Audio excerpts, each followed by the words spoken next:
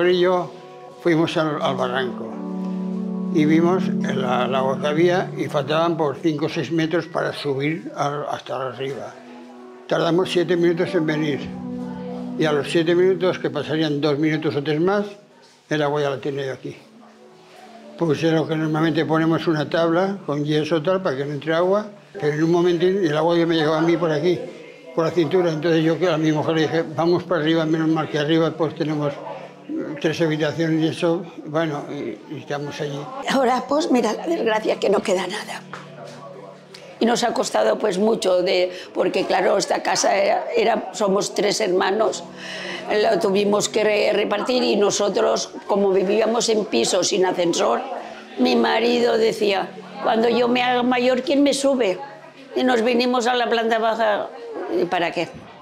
Bueno, menos mal que no nos dio por ir a coger el coche porque la mayoría que se han aguado es porque han ido bajo al sótano a coger la llave.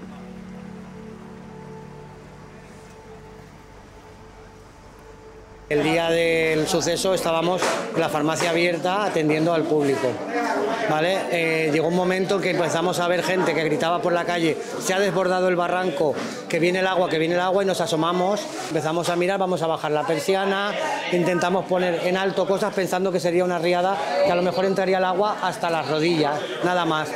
Cuando ya llegó el agua por aquí, que ya está aquí, vámonos, salimos corriendo, yo salí el último, cerré la farmacia y me fui hacia allá. Mi compañera Guadalupe había pasado al estanco, porque la chica del estanco estaba sola y se quedó con ella. Estábamos por la tarde aquí trabajando tranquilamente y me, me fui al estanco de enfrente, que tenía un poco de apetito, y me dice la chica del estanco, mira que me están diciendo por WhatsApp que el barranco se va a desbordar, pero ya, nada, al minuto no llegó, el barranco ya se había desbordado todo el mundo asustado gritando que viene el agua, que viene el agua. Yo ya no podía cruzar la acera, me quedé con la chica del estanco encerrada, empezó a subir el agua, a nosotras se nos reventó una pared, se nos volcó el mostrador, a mí se me cayó en la nevera encima, no podía salir. La chica menos mal que pudo salir antes que yo y llegó al patio de la finca, yo no podía salir porque estaba encajada.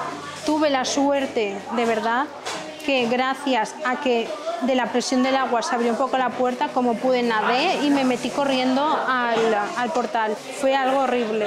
Yo pensaba que nos salíamos del estanco. Ha sido algo horroroso. ¿Qué pensabas en ese momento? Que lo peor, que no iba a ver a mis padres ni a mi familia. Horrible. Hemos perdido eh, amigos, no, pero clientes que vienen a la farmacia, gente mayor, que vive sobre todo aquí en la zona de la Rambleta, en plantas bajas, ha fallecido. O sea, unos abuelitos que vivían por aquí no llegaron a poder salvarse. En la ventana, como era de verjas, no podían salir y en la puerta de, que salía a la calle no, ya no se podía abrir. Se quedaron ahí.